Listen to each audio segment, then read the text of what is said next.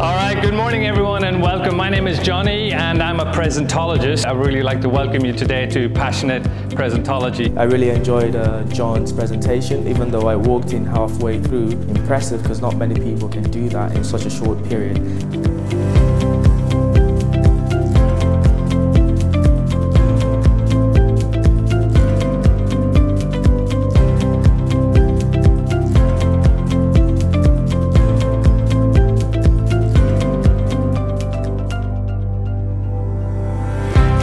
John uh, has showed some new techniques basically in, in, in, presenting and I didn't know the power of uh, the PowerPoint